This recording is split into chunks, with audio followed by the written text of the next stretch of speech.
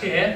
Øh, jeg hedder Mads Brastrup, jeg er politisk redaktør på øh, Børsen, og skal forsøge at, at gelejte de her igennem øh, den her time, som, som vi nu har, som der er gået de første 6 minutter af, så vi har 54 minutter tilbage, så vi skal gøre det stramt. Øh, ganske kort indlægsvis vil jeg bare sige, at øh, jeg glæder mig sindssygt meget til den her øh, eller til den her EP-valgkamp næste år, fordi det bliver jo meget, meget interessant at se, hvad det bliver for en form for valgkamp den her gang. Om de den økonomiske krise, som jo øh, sejler hen over hele Europa, hvad den kommer til at betyde for valgkampen. Bliver det, øh, vil der opblomstre øh, europæiske løsninger på den her krise, hvor, hvor der vil blive foreslået europæiske vækstpakker, hvad ved jeg, eller bliver det en, en mudderkastning nord-ud-syd mod dem, der har øh, reddet krisen rimelig fornuftigt igennem, og som dermed dikterer termerne mod dem, øh, som har det meget, meget svært øh, i de sydeuropæiske lande. Så det bliver meget interessant at høre. Det er også nogle af de ting, som jeg godt kunne at høre øh, ud på her fra, fra de her heroppe på, øh, på podiet. Øh, Rent konkret så øh, starter vi med at gøre det sådan, at øh, vi lige beder Morten, og Morten øh, kort introducerer sig selv, øh, hvem de er, og, og, og hvorfor de stiller op til, til Europaparlamentet. Og, øh, og så tager vi sådan en, en lille øh, lynrunde for lige at pære debatten i gang, hvor jeg har øh, skrevet otte emner ned på, øh, på nogle sædler, øh, hvor vi når måske en 3-4 stykker af dem, hvor de to øh, de simpelthen formuleret som som spørgsmål, øh, som de herrer så kommer til at, at svare på. Og bagefter har vi sådan lidt mere fri debat, hvor der også efterfølgende vil være mulighed for, øh, for spørgsmål øh, fra jer. Så øh, tag endelig noter undervejs og, øh, og øh, øh, find på nogle gode spørgsmål, fordi det, øh, det er næsten altid det aller sjoveste. Men, øh, men øh, han Messersmith, som, øh, som kan man sige, veteranen i, i den her sammenhæng, øh, vil du så ikke øh, lægge ud og, og, og lige få introducere dig selv? Det vil jeg gerne. Hvis, er der selv for arrangementet her? Ja, kandidatordet. Sådan. Er det godt? Glimrende. Jamen tak for det. Øhm, tænker man i en alder af 32 skal blive udråbt til at være veteran. Øh, nu vel, jeg er glad for, at øh, både du, Mads, Morten og Europahuset vil være med til at tilrettelægge det her møde, som jeg har set frem til. Mest af alt, fordi vi formodentlig øh, om et år, den 25. Øh, maj, Øh, skal træffe det mest afgørende øh, valg. Ikke bare for os selv, øh, men for det kontinent, som vi nu engang er en del af, eller i hvert fald er med til at træffe et ganske afgørende valg. EU befinder sig på grund af en øh, for langt hovedpartens vedkommende selvforskyldt krise i den grad ved en korsvej. Øh, en vej, hvor man kan vælge at gå i det radikale venstres og alle andre eurofiles retning og sige, at dem, der har taget fejl igennem 20 år, dem har vi stadigvæk tillid til, derfor giver vi dem mere magt og flere penge. På trods af alle deres flagskibe, fra den fælles valuta til de åbne grænser til den ukontrollerede østudvidelse, har udviklet sig til Titanic, der allerede har ramt isbjerget, så stoler vi stadigvæk på dem. Eller man kan vælge den anden vej, som er også en vej med Europa i hjertet, men med et Europa, der er bundet konkret til virkeligheden, og ikke er en eller anden tanke, en eller anden ideologi, som er tænkt ved et skrivebord, men faktisk er bundet den virkelighed, som er derude, hvor der bor en halv milliard europæere, som ønsker at samarbejde, men som til gengæld ikke ønsker at samarbejde på nogle præmisser, som de ikke selv har med til at bestemme. Som ønsker at samarbejde baseret på, at det er de folkevalgte, der har magten, på den erkendelse af, at det er i nationalstaten, demokratiet fungerer, at EU's forsøg på et øh, demokrati har spillet fundamentalt for lidt, og at den vej, vi derfor skal gå, er den vej, som David Cameron i Storbritannien har formuleret, hvor man respekterer forskellene mellem nationerne, og ikke tror, at man kan harmonisere den økonomiske sjæl ud af grækere og øh, finner og øh, hvad ved jeg, hele øh, EU's øh, befolkning, og opfinde en helt ny stat, en helt ny befolkning, en helt ny tidsære. Vi er nødt til at trække det europæiske samarbejde derhen, hvor virkeligheden ligger. Og virkeligheden er ikke der, hvor adfærden i alle landene er så ens, at man kan have en fælles valuta. Virkeligheden er ikke der, hvor svaret på de udfordringer, vi står overfor, er en federalstat, som Barroso har erklæret det, eller at gøre kommissionen til landenes sande regering, som Merkel har sagt det, eller at skabe en superstat, som Rompuy har ønsket det. Virkeligheden er at skabe et fleksibelt samarbejde, hvor medlemslandene har mulighed for område for område at sige ja eller nej til, hvor det er, de ønsker fællesskab, og hvor det er, de ønsker selv at kunne regulere deres anlægner. Og på det område har Danmark i den grad været forgangsland. Vi har vores forbehold, som på fantastisk vis har bevist, at vi faktisk på nogle områder både kan samarbejde med andre lande, men også fastholde vores suverænitet. fastholde, at det altså er Folketinget, der afgør, hvordan klaveret skal spille på vores forsvarspolitik, udlændingepolitik, valutapolitik osv. Det er en enorm styrke, at vi er gået foran og har vist det. Og den model skal udbredes i Europa, sådan at andre lande har mulighed for at få en fleksibel tilslutning. Hvis ikke vi gør det, så mister vi alt det værdifulde, der i virkeligheden er ved at samarbejde. Hvis vi tror på, at man kan presse yderligere på ved folk, der ikke er valgt, presse yderligere på ved at hæve udgifterne i Bruxelles, samtidig med at medlemslandene selv skal skære ned, og presse yderligere på ved at sejle videre af de fallerede projekter, som alle i dag kan se er slået fejl, så smadrer man i virkeligheden alt det, der kunne være værdifuldt i Europa. Det tror jeg ikke, Morten ønsker. Jeg ønsker det i hvert fald ikke. Og derfor er vi nødt til at vælge den anden af de to veje, jeg skitserede. Og det er derfor, jeg har taget teten op her. I virkeligheden vil jeg godt sige, at jeg har, har lidt savnet det radikale venstre i Europaparlamentet. Øhm, I har masser af åndsfælder fra de andre lande, skal I vide, og der er masser af flyvske personer.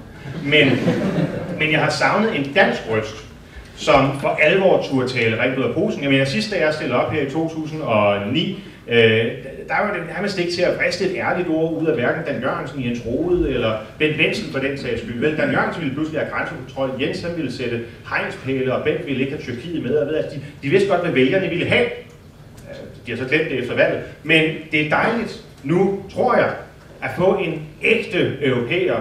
En person for hvem fædreland intet betyder. Øh, og som virkelig kan artikulere det her, det her projekt. Så velkommen på banen, Morten. Det er dejligt.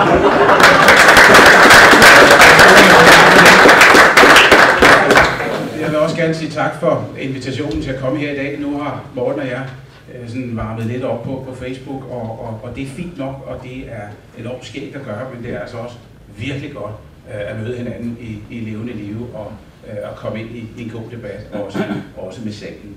Øhm, og tak for introduktionen, Mads. Jeg er meget glad for, at du kalder Morten for veteran, fordi det gør mig til junior eller et eller andet i, i den her sammenhæng. Det er meget sjældent efterhånden, at jeg får den betegnelse, og det er jeg selvfølgelig alt den står endnu glæder for. Øh, og, og jeg tror, at man skal sammenfatte, uden at tage forskud på debatten, hvis der er én ting, Morten og jeg er enige om, så er det, vi er uenige. Og, og det, lad os prøve at folde det ud på, øh, på en ordentlig vis og, og få en ordentlig diskussion ud af det. Fordi du har helt ret, Morten. Da det radikale venstre blev født tilbage i 1905, der blev vi kaldt europæerne europæerne. Altså, og, og på det tidspunkt, der var det ment som et skældsord. Ikke?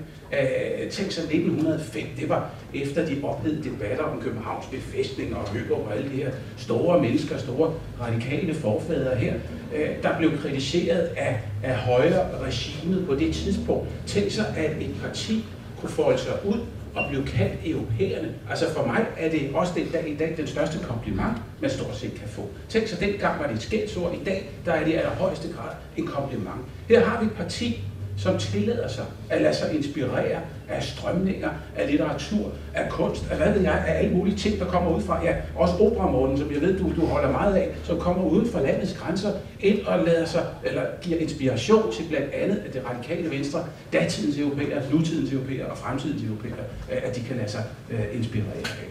Øh, så allerførst, ja, jeg, jeg kvitterer for, for, for den varme velkomst her og, og vedkender mig at være europæer med et, et stort og det er stort E selvfølgelig. Og det er øh, hårde tider at være europæer i. Der er nogle krisetegn overalt. I hører ikke fra mig en eller anden jubelsang om, at alt er, som det skal være. Så skulle man da være fuldstændig øh, blind og have lukket øjnene, hvis man virkelig øh, troede på det. Der er krisetegn overalt.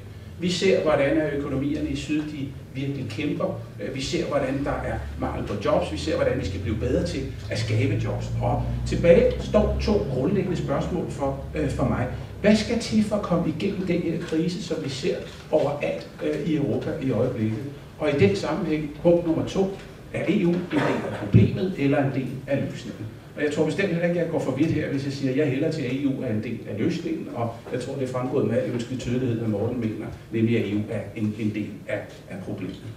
Min tilgang til det er, Danmark er en del af Europa. Det er så banalt og så pragmatisk og så lavpraktisk som det. Vi har levet igennem hele vores historie af at handle og investere med omverdenen. I gamle dage tog håndværkere på valsen, som det hedder, rejste rundt i Tyskland, eller hvor det var, blev klogere, blev dygtigere, kom tilbage igen og berigede samfundet med de kompetencer, som de har fået ude i, i den store verden. I dag ser vi, hvordan Erasmus-programmer og den slags ting gør, at det bliver hverdag for danske studerende også at kunne tage fag rundt omkring på europæiske universiteter, på andre universiteter, andre læreanstalter, øh, og lade sig øh, få flere kompetencer, som man beriger sig selv med, og sandelig også det danske samfund med. EU er en del af det. EU er en del af nogle af de helt lavpraktiske løsninger på nogle af de udfordringer, vi står overfor. Vi ser, hvordan at den danske industri er dybt afhængig af, hvad det er for vilkår, der produceres under, hvad det er for standarder, der sættes, og hvordan og hvorledes man kan afsætte øh, til de øvrige EU-lande, ikke mindst det, det tyske marked. Og går man ind og siger i den sammenhæng, at det skal der pilles ved, og jeg skal nok vende tilbage i morgen, fordi jeg er ret nysgerrig efter at prøve at finde ud af, hvad du mener med, med, med dit punkt nummer to. Jeg forstod godt den der med radikale venstre som de eurofile, øh, og, og, og hvad der lå i det. Men hvad du så lægger i punkt nummer to om Europa i, i hjertet og, og, og den type ting, det synes jeg, vi skal vende lidt tilbage til. Fordi for mig er det ret uklart, hvad det er, du så i givet fald vil med den type øh, samarbejde. Det håber jeg, vi, vi, vi vender tilbage til. Tilbage står for mig, EU er en ramme til løsning af de praktiske problemer og de meget presserende problemer, vi har i den nuværende krise. Og vi skal bruge EU til at skabe jobs, til at blive klogere, til at skabe et grønnere og bedre samfund. Og så mener jeg, at EU er også Danmarks mulighed for at være med til at skabe en bedre verden. For at være med til at præge verden omkring os, for at prøve at gøre indtryk og øve, at øve indflydelse i forhold til også en aktiv udenrigspolitik. Og det gør alt sammen for mig at EU er en helt oplagt og nødvendig del af løsningerne på de problemer og de udfordringer, øh, vi står overfor. Og lad det være ordene i første omgang. Jeg glæder mig til debatten. Tak.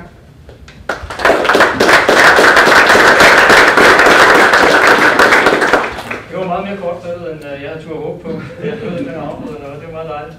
Øh, nu har jeg nogle steder her, øh, hvor jeg vil bede øh, dig, Helve, øh, trække det første. Et, øh, et spørgsmål som du får et par minutter til at svare på. Vil du øh, læse op, hvad der står på øh, I eksamenstiden her. Skal finanspakten følges op af en egentlig europæisk finanspolitik? Øhm, og så kan man diskutere, hvad der ligger i en egentlig europæisk finanspolitik, men for mig at se, så er det stadigvæk nationalstaterne, som har ansvaret for at føre en ansvarlig økonomisk politik. Så på den måde nej, hvis det er det, du lægger i spørgsmål.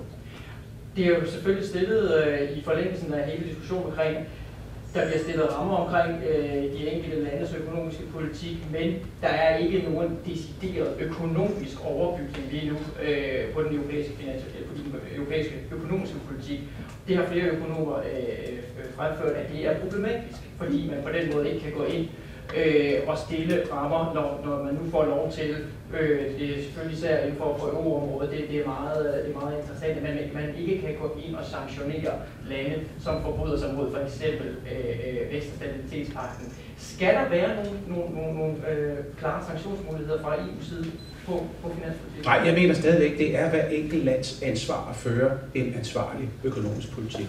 Og man kan sige, at hvis det ansvar var blevet taget så alvorligt, som det egentlig burde være blevet taget, så er vi nok heller ikke stået her, hvor vi står i dag i forhold til de økonomiske udfordringer og problemer, som EU, eurozonen øh, og, og i øvrigt den vestlige verden er, er, er overfor. Så jeg mener, det her med den nationale ansvarlighed i forhold til at føre en ansvarlig og fornuftig økonomisk politik, det er og skal være i højsiden. Det synes jeg i øvrigt, vi gør øh, fortrinligt herhjemme. Det er Morten sikkert også uenig i, men det er har jo ikke på, nogen, der er uansvarlige. Og det er også derfor, jeg siger, at det er et nationalt ansvar at føre en ansvarlig økonomisk politik. Og det vil det også være fremover. Og hvad hvis man ikke gør det? Hvis vi ser gentagelser, eller, øh, som vi har set i Grækenland, hvor man kamuflerer sine budgettal og så videre, lige pludselig så står man med, med hatten i hånden og vil have øh, resten af fællesskabet til at bidrage til kassen. Jamen, så skal hammeren også falde i en eller anden form, så man diskuterer sanktionerne, sanktionernes størrelse, hvordan det skal indrettes. Men det kan jo ikke være rigtigt, at fordi nogen måtte opføre sig fuldstændig uansvarligt, at man så bare skal give penge op af, af, af lommen af, af den næste. Så jeg vender tilbage til det her med, øh, og det er også vejen frem i forhold til den udfordring, vi står overfor, at understrege det her med den nationale ansvarlighed i forhold til den nationalt førte økonomiske politik. Så er der jo masser af, af stier at betræde her i forhold til mere koordination, i forhold til den generelle økonomiske politik og strukturtiltag, og indre marked skal udvikles, og servicedirektiv og alle mulige andre gode ting, der kan være med til at bidrage, at EU's konkurrenceevne som enhed, at, at den øges og at den løftes. Men tilbage står altså en eller anden grad af ansvarlighed, eller en ansvarlighed nationalt, det er altså forudsætningen for, for hele manøvren. Morten, din øh, replik til det? Jamen, jeg undrer, jeg er en lille smule forundret over sådan et, et nølende svar her, fordi det radikale venstre har jo ikke bare stemt for, man har jo jublet over finanspakten, som klart, som en af det artikel 7, stipulerer, at hvis medlemslandene overtræder budgetkravene, så kan de dem som bøde på 0,1 procent af deres bruttonationalprodukt for året for inden. Det vil for Danmarks vedkommende være 17 milliarder, øh, altså for forrige budgetår. Så øh, jeg kan ikke forstå, hvorfor der er så meget uld i mund her. Altså ja, landene bliver dømt, det sker ved EU-domstolen, det er kommissionen, som kan anlægge sagen, og det sker, hvis man afviger vækst i stabilitetspakken eller kravene i budgetloven. Det er det eget parti stemt for. Om det er en god idé, det vil jeg så nok stille større spørgsmålstegn ved. Altså, hvordan fungerer det på et land, som i forvejen har svært ved at overholde sin egen budget, og man så siger, nu skal I lige have en bøde på, skal vi sige, 10-15 milliarder, kan I klare den, måske før terminen? Det er måske ikke den bedste medicin til lande, der i forvejen er dybt forgældet. Det er med et uh, Anders Fogh udtryk som en boksehandske til et blåt øje. Men det er jo simpelthen et udtryk for den desperation, der præger eurozonen. Altså finanspakten er vist nok det 17. forsøg på at redde euroen er nu øh, ved at blive implementeret i alle medlemslandene, og kære venner, siden den blev vedtaget, siden vi sagde, at havde reddet euroen, der er det kun gået ned ad bakke for væksten og op ad bakke for arbejdsløsheden. Så det fungerer ikke, og I kan komme med nok så mange initiativer, hvor I vil øh, med bøder og med straf og hvad ved jeg, få grækerne til at løbe lige så hurtigt som tyskerne, få dem til at betale lige så meget skat, få dem til at uddanne sig lige så effektivt og få deres øh, erhvervspolitik til at fungere, som den gør i Tyskland. Det kommer bare ikke til at ske, og derfor kan man lige så godt droppe ideen om, at en fælles valuta bliver en succes. Altså det at sige, at Grækenland og Tyskland skal have fælles valutapolitik, det svarer til at sige, at Danske Bank og Amagerbanken skulle have samme aktiekurs. Det kommer bare ikke til at fungere, fordi landene er så forskellige. Og det er det, jeg siger, at når, når man i Bruxelles har folk, som alene vil regere ud fra, hvad der ser godt ud på skrivebordet, men ikke ulejliger sig med at kigge ud af vinduet og forholde sig til de enorme problemer, som den politik, de fører, rent faktisk påvirker helt jævne borgere med så er det ikke bare euroen, så er det hele EU, vi gambler med. Og jeg er jo enig i, at vi skal have fælles handel, men hvis ikke I stopper det der vanvidsprojekt med euroen, så har vi også det indre marked. Men, men Morten, du, øh, nu, nu siger du det så af hensynet til de, de sydeuropæiske økonomier, man ikke skal gå ind og gøre det, men der har jo været økonomer, der har fremført, at hvis nu man havde en mere finanspolitisk regulering af EU, så kunne man bede de nordeuropæiske lande om at træde lidt over på speederen, og så give de europæiske eller sydeuropæiske lande lov til at komme. Men det vil jo kræve, at der var en sådan finanspolitisk øh, overbygning. Hvad, hvad, hvad mener du om det? Jamen det kommer også. Altså Giffer Hofstadt, som er formand for den gruppe, Morten kommer til at sidde i, ALDE-gruppen. Men er det noget, du mener er en god idé? Nej, det er en rigtig dårlig idé, for det kommer ikke til at virke. Udover at det bliver selvfølgelig dyrere at være tysker og stadig mere elendigt at være græker. Men derudover kommer det ikke til at virke. Altså, der kommer en fælles finanspolitik. Schäuble har sagt det meget klart. Barroso har sagt det meget klart. Altså alle dem, der har en indflydelse i Bruxelles, vil have en fælles finanspolitik. De vil have fælles obligationer, de vil have fælles skatteopkrævning fra Bruxelles, sådan som man ikke hele tiden skal ud og spørge medlemslandene, om de vil betale lidt mere, så man selv kan få snablet ned i borgernes løn. Alt det der kommer, uanset om Morten Helve bliver valgt eller ej. Jeg siger bare, det er en rigtig dårlig idé. Og hvis I ikke tror på mine forudsigelser, så tro på det, der er sket indtil videre. 18 gange har man sagt, at man har reddet euroen, og det er gået stadig dårligere. Det minder om dagpenge. Morten, vil du tage øh, næste, næste tema?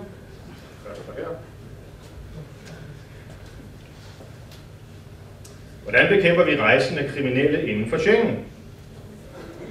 Det er ikke noget, jeg har betalt for at få det gjort. De havde øh, noget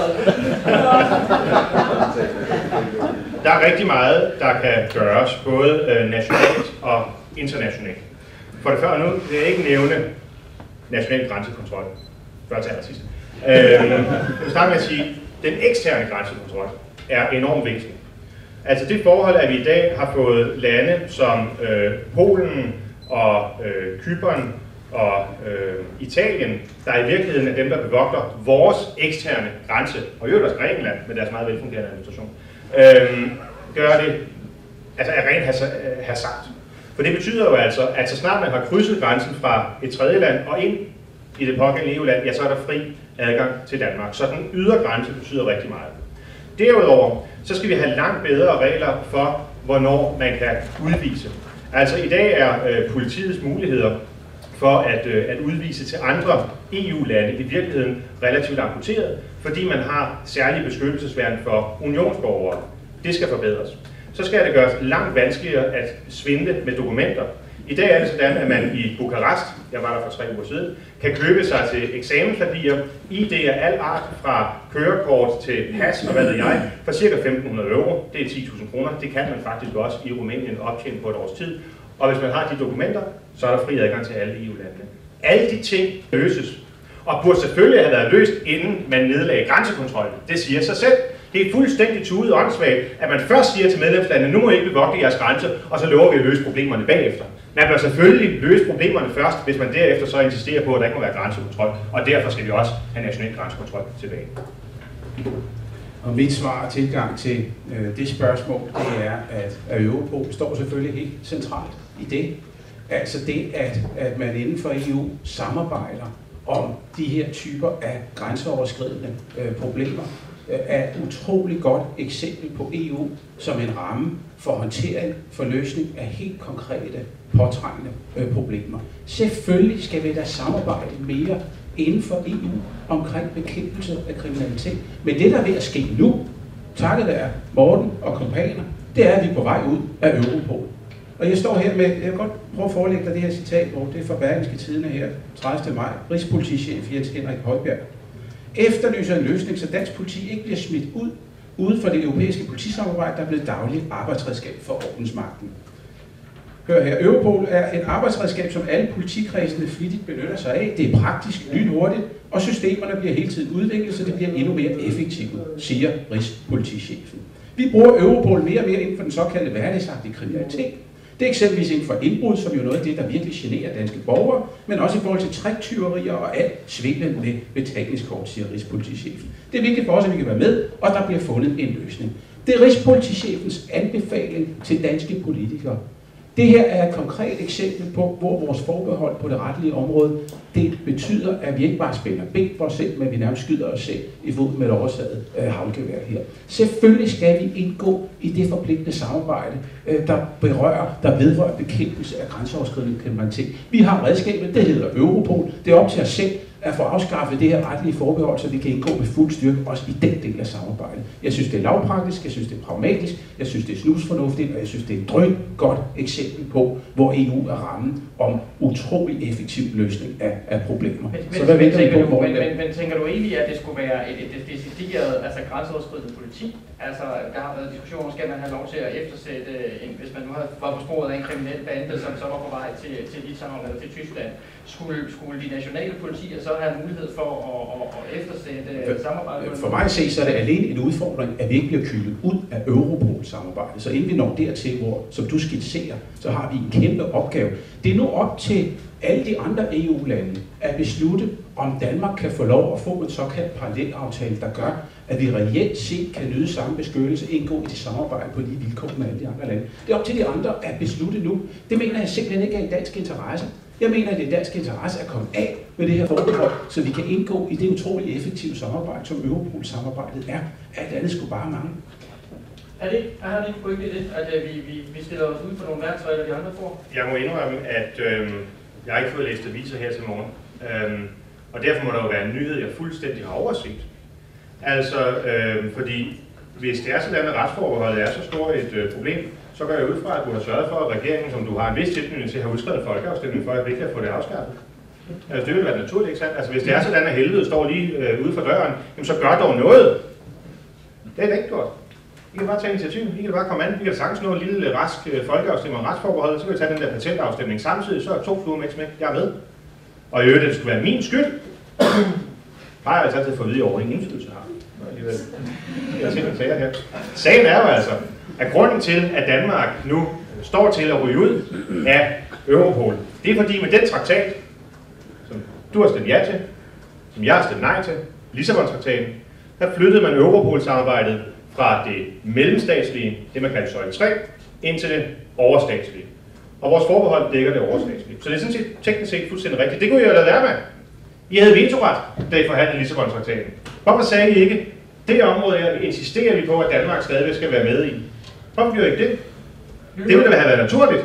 Der er masser af gange, hvor Danmark har sat foden ned for at redde vores sommerhuse for eksempel. Men når det handler om vores sikkerhed, politiets mulighed for at samarbejde, så er det åbenbart min skyld. Ganske kort. Øh, jeg, vil kun, jeg, jeg kunne ikke godt tænke mig, om, om du vil forholde dig til substansen, morgen. Øhm, at dit svar, som jeg hører dig, det er, og det er så alligevel ikke grænsekontrol, men det, det er et eller andet andet. Mit svar er, at Europol er drønt effektivt og et redskab, som dansk politi benytter sig af i hverdagen. En ting er polemikken omkring folkeafstemning i morgen eller ej, men er du dybest set tilhænger af, at vi afskaffer retsforhold med henblik på at kunne gå ind og være effektiv i bekæmpelsen af kriminalitet? Jeg er tilhænger af, at vi vedbliver at være i Europol. Det mener jeg sagtens skal ordnes uden at afskaffe retsforbeholdet ved en parallelaftale for eksempel. Men man skal også lige passe på, at træerne ikke vokser ind i himlen her, fordi vi er med i Europol i dag. Det var vi også sidste år. Og alligevel blev der altså begået 22.000 indbrud i private hjem af østeuropæiske, udlændinge, østeuropæiske Øhm, øh, borgere, som kommer til og begik de her forseelser. Så det er ikke sådan, at det, vi er medlem af Europol i dag, har skærmet os mod problemerne. Men jeg synes, at Europol er en god ting. Jeg synes også inden for Schengen-samarbejdet er sidst Sirene, og Sirene 2-samarbejdet er god ting. Det, der faciliterer, at politiet kan udveksle informationer. Men jeg synes, det er et meget pobert budskab, hvis man siger til danskerne, nu skal I afskaffe hele retsforbeholdet, for at I kan være med i Europol. Det betyder så også, at I skal være en del af EU's straffelov og udlændingeregler og retspolitiske bestemmelser osv., men det må I bare tage med.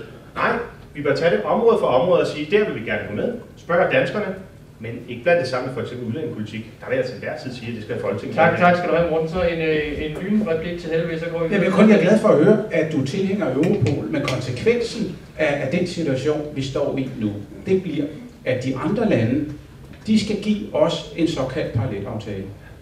Det ved vi ikke, om vi får. Og uanset hvad, inden en sådan parallelaftale måtte være i funktion, så vil der være et slip, der vil være et tidsmæssigt gab, hvor vi i realiteten er ude af Europols samarbejde. Det synes jeg er et problem.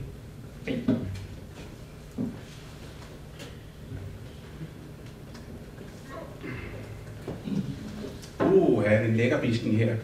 Øh, hvad er perspektivet og udsigten til en britisk folkeafstemning om selve landets EU-medlemskab? Wow. Øhm, jeg tror, den valgkamp, vi reelt har startet, Morten, ikke bare 20 startet, som Anne på at sige her, men reelt har startet, at øh, den kommer til at foregå på et andet bagtæppe, nemlig at nu får vi en reel diskussion i lyset af, at et stort land i øh, England øh, reelt og måske kan være på vej ud af den europæiske union. Øh, jeg tror, det bliver en, en ny debat, vi får, fordi at den diskussion, den kører, og den vil blive intensiveret, alt sammen med, hvad jeg frygter, kan være det første skridt på vejen til, at, at britterne melder sig ud. Jeg tror, der er en overhængende sandsynlighed for, fare for, at britterne er på vej ud. Det skal de selvfølgelig helt selv styre, det må de selv om, men med den proces, der er tilrettelagt, hvor Cameron så skal rejse til Bruxelles med en, som jeg også hører dig argumentere lidt for, sådan lidt a la carte tilgang til det. Det her vil vi gerne, det her vil vi ikke, det her vil vi rigtig gerne, det her vil vi slet ikke. Øh, at skulle gå til Bruxelles og forhandle om en eller anden form for ønskeseddel, og så vende retur til den engelske befolkning med, hvad der øh, formentlig vil blive et kompromis, ellers så, øh, lige vil sige, så står verden ikke længere.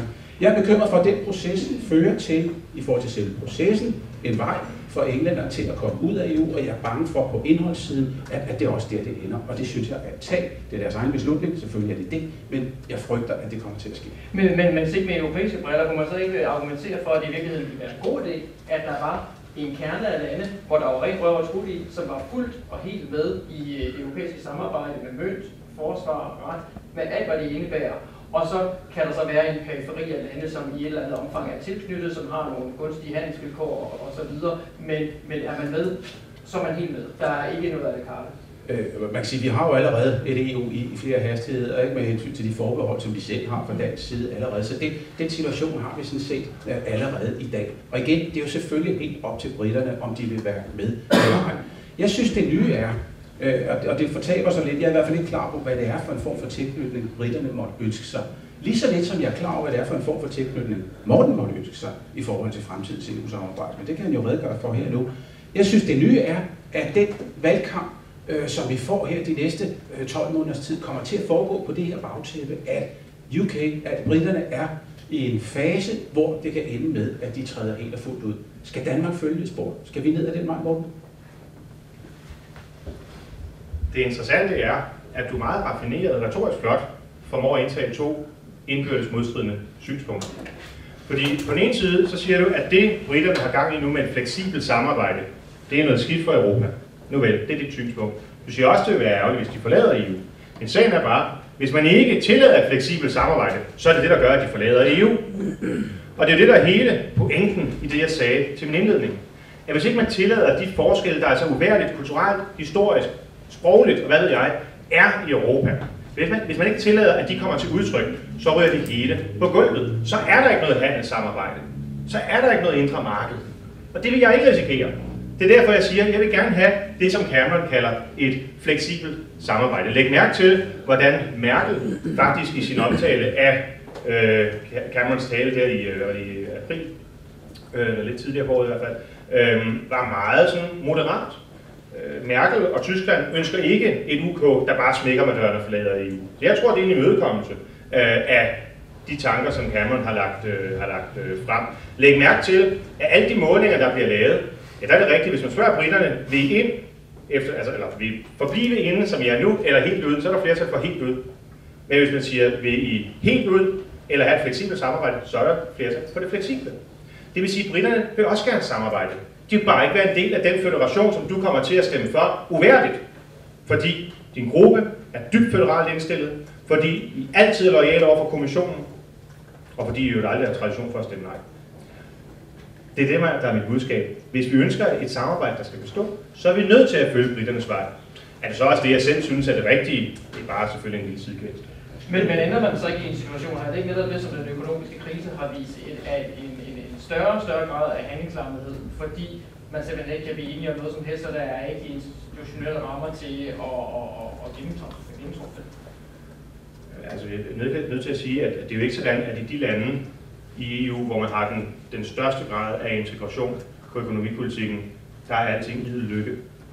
Altså, det er jo ikke tilfældet. Altså, det er jo faktisk nærmest det modsatte. Sagen er jo altså, at det er de lande, der har sagt ja til fuldstændig integration, at det går ringest.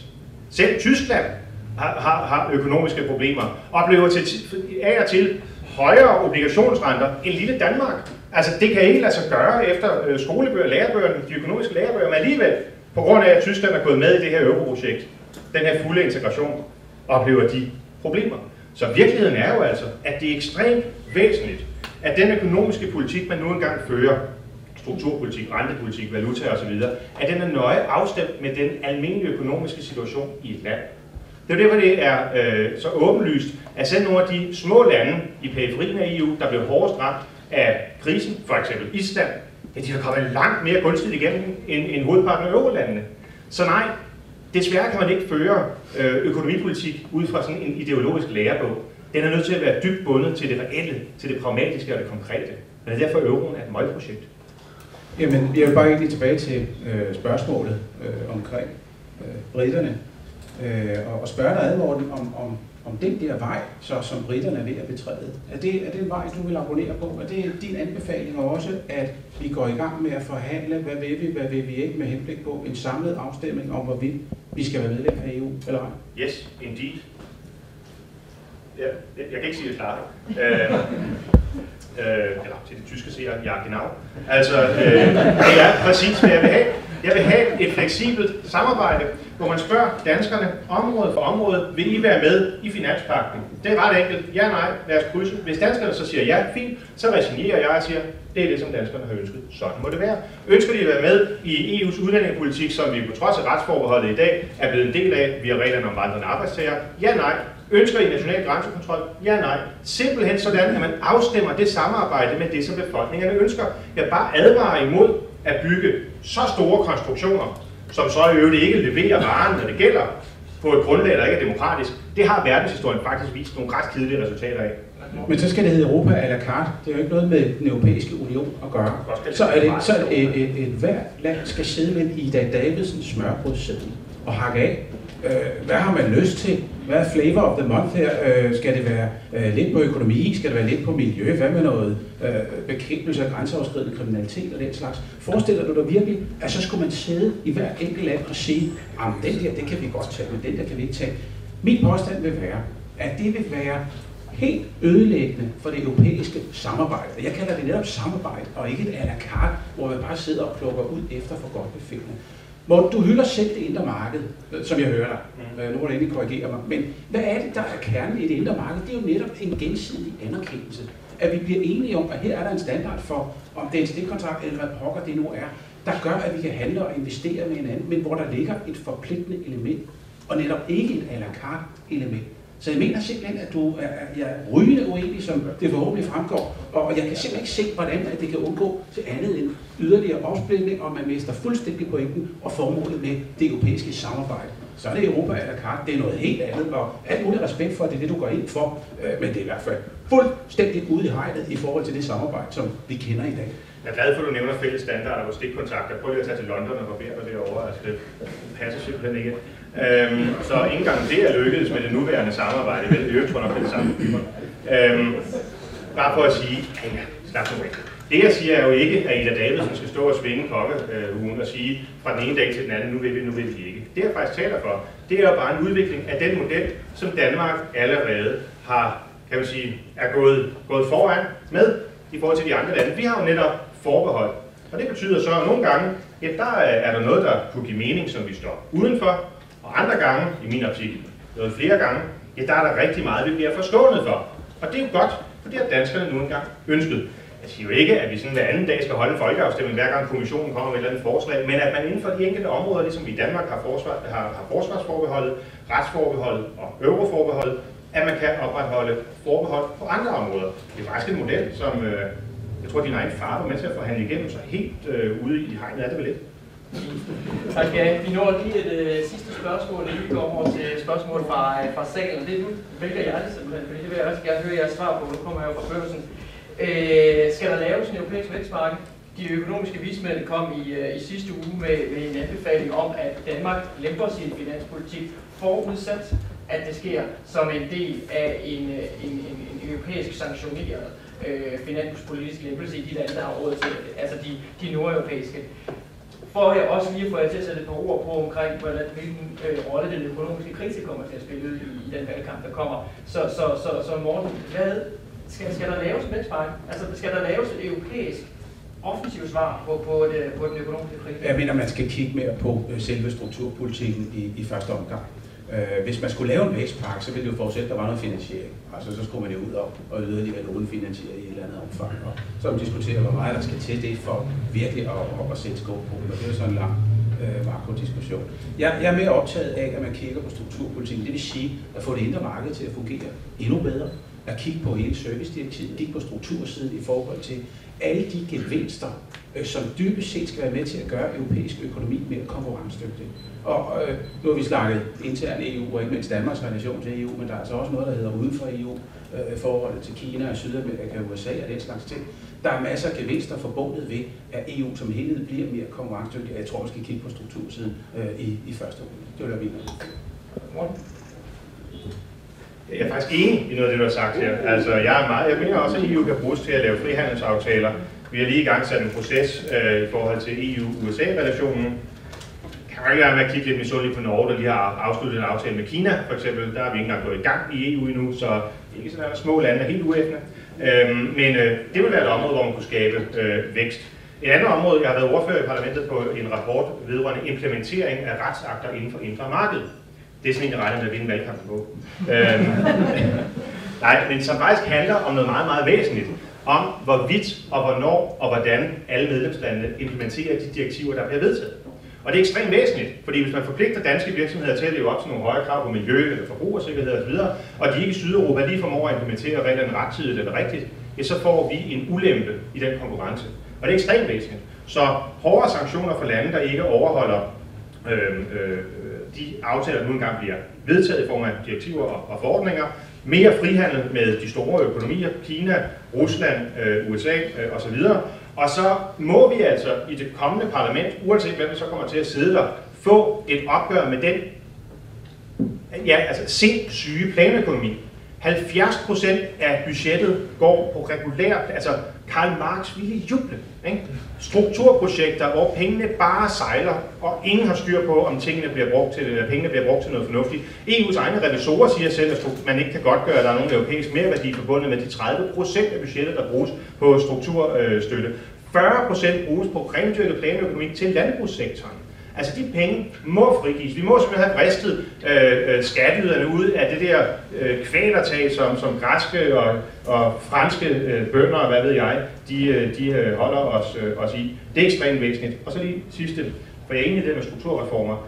Øh, vi er simpelthen nødt til at få ændret vikardirektivet og udstationeringsdirektivet, sådan det ikke længere er lovligt at arbejde i Danmark eller andre lande for den sags skyld, uden at overholde det pågældende lands løn- og arbejdsvilkår.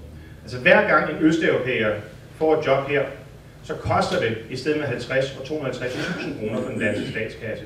Det er simpelthen uholdbart. Det er fint nok, at folk udefra kommer og arbejder her. Selvfølgelig skal der være mulighed for det, men skal til dansk løn.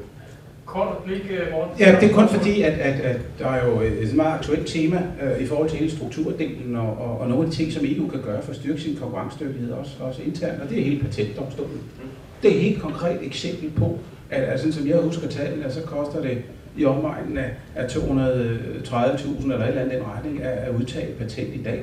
Øh, og får vi det her fælles europæiske patent, jamen, så kan den her udgift, den kan ad overbringes helt ned til noget i omegnen af af 5-10.000 kroner. Pointen er, det er alene for dansk erhvervsliv i størrelsesorden besparelse på 110-150 millioner kroner årligt, der ligger i, at man bliver enige om at få det her fælles europæiske patent. Så det er for mig at se, øh, og, og det er da nysgerrig på at høre, Morten, hvad, hvad er argumenterne imod det her, øh, og hvad er argumenterne mod patentdomstolen? Det er da lige til højre benet at tage den her gevinst med henblik på at øge virksomhedens konkurrencedygtighed, så der kommer endnu flere danske beskæftigede. Det burde da være en lækkerbisken for dig. Den er lige til at tage. Den har du en halv minut til at svare på. Jeg, jeg er så glad for den interesse. Altså det synes jeg. Øh, det vil jeg gerne forklare. For det første vil jeg sige, at uanset om Danmark går med eller ikke går med i det fælles europæiske patent, vil der jo stadig være mulighed for, at hvem end der måtte ønske et sådan patent, kan tage det. Så vil det bare ikke dække 25 lande, men 24 lande. Hvorfor er det så fornuftigt, at det ikke dækker Danmark? Det er det, fordi den mulighed for at beskytte sit patent, sine patentrettigheder, hvis man går med i det europæiske patent, herunder et patent, hvor jurisdiktionen også gælder for Danmark, bliver markant ringere. Fordi den, den aftale, som regeringen har indgået, ikke håndterer problemet med forumshopping, hvilket betyder, at hvis man udtager et EU-patent, hvor Danmark er med, bliver udfordret på det, skal vi sige, Bulgarien, de har sådan et veludviklet retssystem, så det vil man nok vælge, og taber sin, sit patent der, så er det ikke kun i Bulgarien, som i dag, at man vil miste sit patent, men også i Danmark. Der er du så stik modsat, hvor dansk industri, dansk erhvervsliv står på lige præcis den sag. Altså, er du blevet klogere end, end dem, der rent faktisk skal have patenterne? Øh, nej, men man skal bare huske på, hvem er det danske erhverv og dansk industri? Øh, hvem er de har som medlemmer? Det er klart, at Novo og Lego og hvad ved jeg, de vil altid kunne pusse alverdens advokater op, de vil kunne købe af, af hele Bulgariens advokatstand. De har så mange penge, det er jo ikke problem. De kan sagtens forsvare sig. Nej, dem jeg er bekymret for, det er de små patenthavere. Det er øh, den lille opfinder, så at sige. Det er jo også derfor, at Patenthaverforeningen foreningen ADIPA har været ude at sige, at det her er en dårlig aftale. Så jeg lytter sådan set til den ekspertise. Ja, men kun lige, at du startede dit indlæg, Morten, med at sige, at, at man i Europa skulle lytte til, til virkeligheden, ikke? og se på virkeligheden og tage udgangspunkt i virkeligheden. Ikke? Virkeligheden er her, at der for dansk erhvervsliv i sin helhed vil være tale om kæmpemæssige besparelser, effektiviseringer, rationaliseringer og en masse andre gode ting, der vil føre til flere jobs. Igen en helt praktisk vej igennem krisen ved, at man går sammen inden for EU om at lave noget helt praktisk og noget helt konkret. Må jeg så ikke lige sige om det der med, med forumshopping, altså det svarer stort set, altså en dansk virksomhed kan jo vælge at lægge sag an i byretten i Aarhus eller, eller i København. Er det også forumshopping? Øh, og, og du ved jo også godt, Morten, og sikkert endnu bedre end jeg gør, at, at sammensætningen af domstolene rundt omkring, at det vil jo være bredt funderet, og der skal være kompetence og ekspertise rundt omkring. Så jeg synes, man skal være varsom med at male øh, en vis herre på væggen i, i den anden. Tilbage står, det er en helt praktisk og konkret foranstaltning, der sparer dansk erhvervsliv for en masse penge og giver mulighed for endnu flere jobs. Jeg synes, den er lige til øjeblikket.